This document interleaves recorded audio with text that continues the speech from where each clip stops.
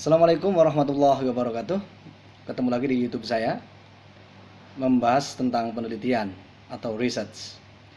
Kali ini saya akan membahas tentang teknik pengumpulan data penelitian kualitatif.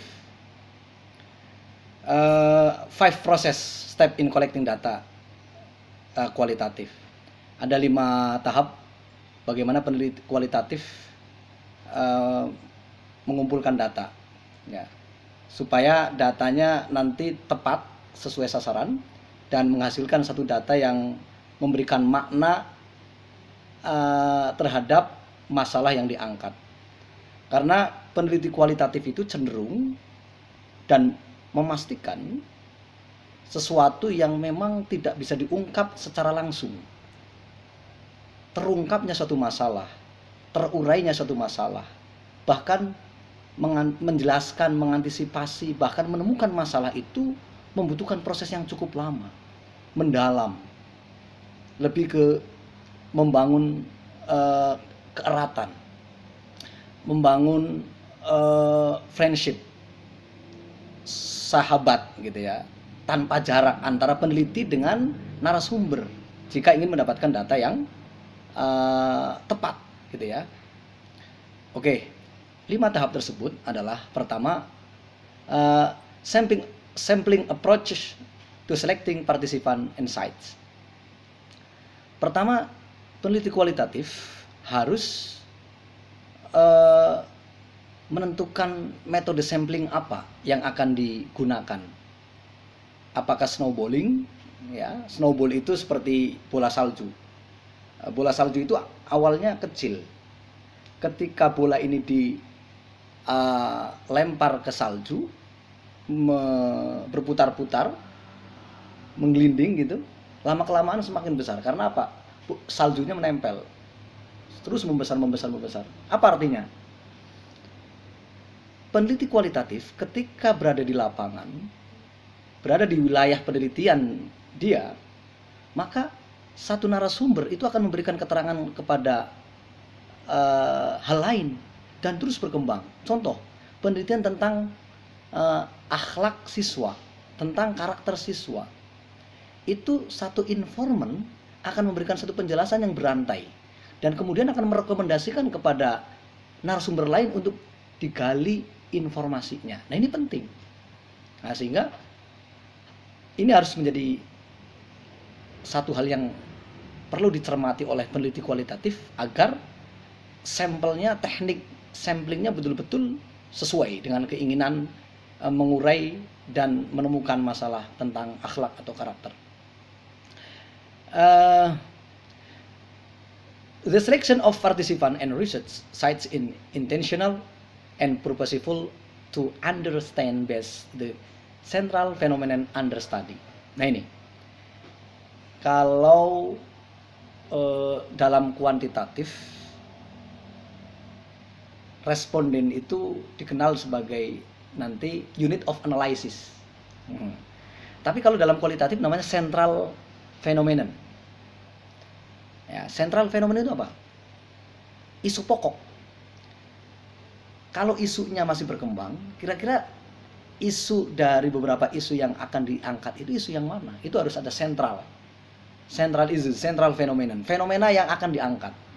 Ya, central fenomena yang akan diangkat. Contohnya begini ada di situ umpamanya uh, di satu sekolah satu wilayah ada penggunaan obat-obatan terlarang kemudian kenakalan remaja tawuran uh, bullying uh, umpamanya kekerasan dalam dunia pendidikan dan sebagainya.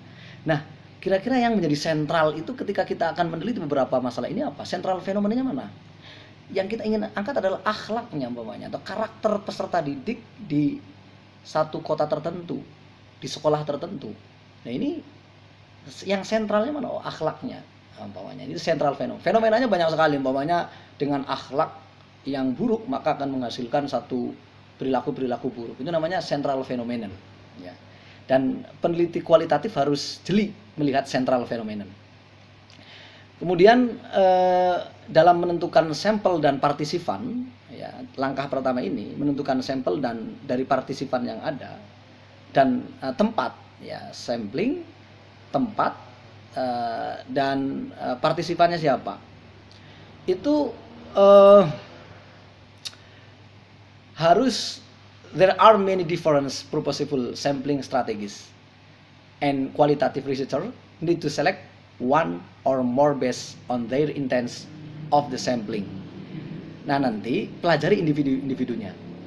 Dari narasumber beberapa narasumber, narasumber yang ada, kira-kira siapa yang paling bisa dimintai keterangan tentang akhlak? Kira-kira kalau mau nanya tentang akhlak siswa, itu ke siapa? Oh tentu pandangan penelitian kualitatif pertama tertuju, tertuju pada guru yang bersangkutan, guru BK umpamanya, uh, teman-teman di sekitarnya.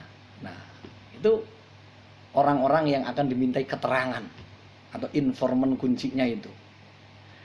Itu langkah yang pertama. Langkah yang kedua, setelah peneliti kualitatif menentukan sampel, partisipan dan tempat penelitian adalah permission required to gain access. Izin penelitian. Ya sama dengan penelitian kuantitatif juga. Penelitian kualitatif juga harus uh, apa? Meminta izin untuk meneliti tempat tersebut. Malah karena nanti peneliti kualitatif itu akan bergabung langsung dengan narasumber akan mungkin kalau boarding school bermalam di sana jadi mengetahui aktivitas dari mulai bangun tidur sampai tidur lagi. Sampai segitu. Jadi tidak ada jarak antara peneliti dengan yang diteliti Berbeda dengan kuantitatif. Kalau peneliti kuantitatif itu menjaga jarak. Jangan sampai peneliti dengan yang diteliti itu terlalu dekat. Karena apa? Nanti subjektivitasnya tinggi. Maka untuk menjaga objektivitas, peneliti kuantitatif dia menggunakan angket atau instrumen tertentu untuk menjaga jarak antara peneliti dengan yang diteliti. Kalau peneliti kualitatif, justru itu harus dihindarkan. Peneliti kualitatif itu harus bergandengan, merangkul, bahkan dia bergaul sesuai dengan apa pergaulan mereka. Tujuannya apa? Untuk mendapatkan data yang betul-betul objektif. Maka uh, pen, uh, perizinan researchers often seek out gatekeepers. Nah, to gain access to individual insights to study. Harus minta izin pada institusi dan orang-orang yang akan diteliti. Penting itu. Narasumbernya siapa minta izin. Bila perlu ke institusinya uh, minta izin, ke orang-orangnya juga minta izin secara resmi, silaturahim, ya baik-baik. Nah itu karena apa? Ini akan menjalin hubungan yang lama, menjalin kedekatan yang lama. Maka uh, pertama kali kesan pertama yang dimunculkan oleh peneliti kepada narasumber itu harus kesan yang hangat, kesan yang friendly, yang uh, apa bisa diterima, bersahabat. Nah, itu nanti akan enak nanti ke depannya, begitu ya. Jangan sampai datang-datang langsung wawancara, observasi, wah, kalau sudah marah, ya res, eh, narasumbernya sudah marah, pasti terpaksa dalam keadaan emosi, diwawancara, diobservasi, itu dia tidak ikhlas. Cenderung apa yang diutarakan itu tidak objektif. Mungkin terpaksa, mungkin asal-asalan dan sebagainya kondisi psikologisnya tidak mendukung untuk dimintai keterangan. Ya, maka sangat penting minta izin ya. Minta izin ke institusi atau ke orangnya langsung atau narasumber-narasumber yang akan dijadikan sebagai uh, apa? objek penelitian. Oke. Okay. Uh, eh, minta izin. Yang kedua minta izin. Nah, in gaining permission, qualitative researchers are sensitive to the potentiality uh, to the uh, potentially instructive nature of their research and are mindful of respecting individuals' insights, potential power, imbalances, and giving back or reciprocating. Nah, tadi minta izin dan secara sensitif me mendeteksi orang-orang yang memang sangat potensial untuk dimintai keterangan dan keterangannya sesuai dengan pertanyaan penelitian. E, keterangannya akan menjawab masalah-masalah yang dicantumkan dalam e, pertanyaan penelitian. Nah, itu harus sensitif. harus uh, mampu membaca siapa saja orang-orang yang akan memberikan keterangan yang banyak dan berkualitas terkait dengan uh, penelitian uh, kualitatif itu.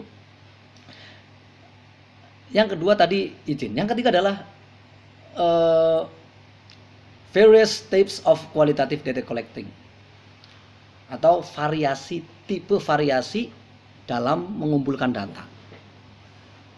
Ini jangan semuanya diambil ya tapi memang kalau penelitian kualitatif itu uh, triangulasi juga menjadi satu analisis data kalau kuantitatif pilih salah satunya. Tapi kalau kuantitatif untuk mendapatkan data yang sebenarnya dan memberikan makna terhadap interpretasi nanti maka uh, terkadang peneliti peneliti itu meng, me, mentriangulasikan antara data hasil observasi data hasil wawancara dan data hasil dokumentasi bahkan recording atau perekaman. Gabung jadi satu uh, check and balance tesis antitesis sintesa kemudian menghasilkan satu kesimpulan yang uh, bermakna. Oke langkah ini adalah researcher collect one or more of the four basic categories of qualitative data. Observation interview, interviews documents and audiovisual material. Barangkali empat malahan ya. Ya empat tadi. Observasi wawancara dokumen dan uh, audiovisual. Ya empat ada empat. Dan ini harus digunakan secara maksimal. Uh, observasi kira-kira untuk melihat apa? Nah itu harus jelas juga. Untuk melihat perilaku mereka sehari-hari uh, perilaku akhlaknya karakternya sehari-hari bagaimana itu observasi. Kemudian diwawancarai per individunya. Ya. Minta pendapat orang yang tahu tentang individu-individu itu untuk menjelaskan tentang karakter mereka. Kemudian dokumentasi, bagaimana catatan-catatan guru mereka terhadap karakter mereka. Ya. Uh, nilai rapotnya, ya. absennya, nah, itu supaya uh, data tersebut menjadi uh, in-depth, mendalam. Ya.